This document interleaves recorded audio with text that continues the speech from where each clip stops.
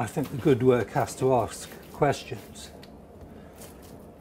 And if it asks questions of me, the maker, then how do other people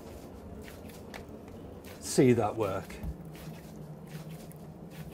You know, a lot of what I do, we have all been programmed to think it's all seconds in ceramics, you know, when you get a dribbly glaze or a little mark on the pot from where another pot has touched it, you know, but without that touching it, then you wouldn't get all the colours around there. And of course, you're going to get a lot of disasters, but you are going to get one or two gems. So yeah, since the last show, I think I've my pots are made to kind of capture or try to capture what will happen in my kiln.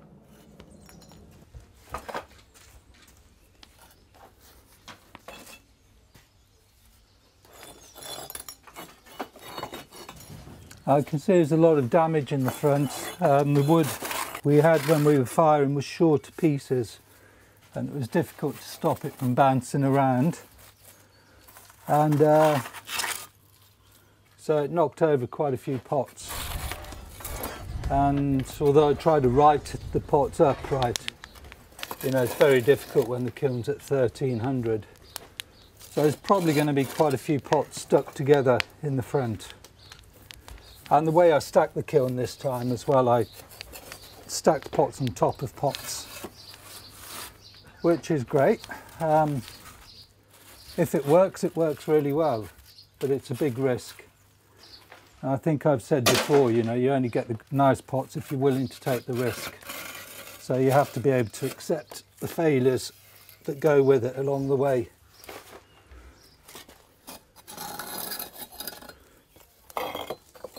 So all I can do now is just carefully take things out.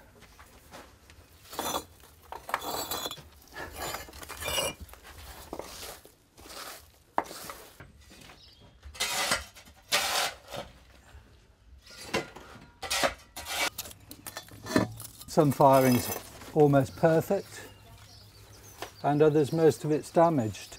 So, you know, to, to get one nice pot you may have to sacrifice three or four um, but that's the way it is. One way of unpacking the kiln, huh?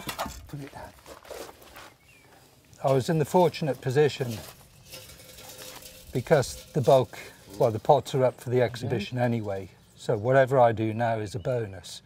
So I wanted to um, stack the kiln a bit more loosely, a bit more uh, to risk. And that's exactly what's happened. And I just need to take my time and really be careful on the cleaning now and rescue these special pots because they're here.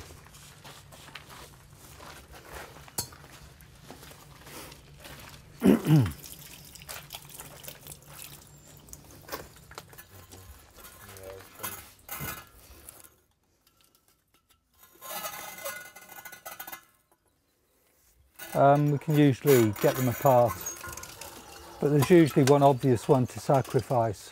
And when you've got two beautiful ones stuck together, it becomes a bit of a, a dilemma. But these two here, as you can see, this, this jar is very nice. And um, I often get nice taller bottles. So I may have to put a hammer to the bottle. Doesn't that make that one twice as special? Yeah, I need to be very careful with this because this is a special pot. One that you don't see that often.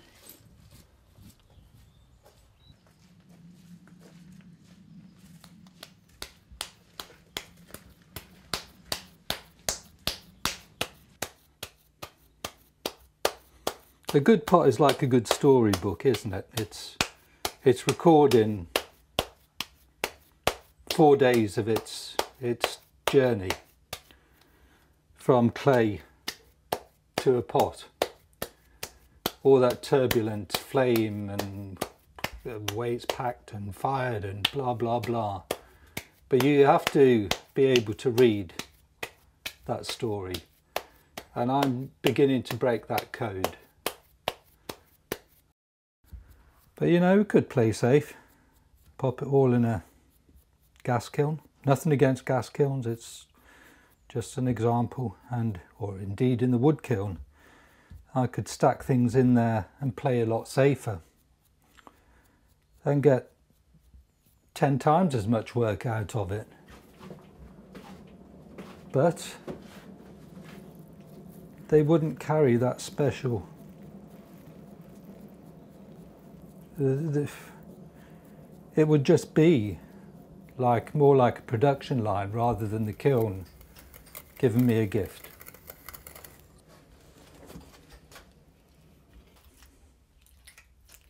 Beauty. Mm -hmm. Only when it comes out the firing. yep, that's just the beginning.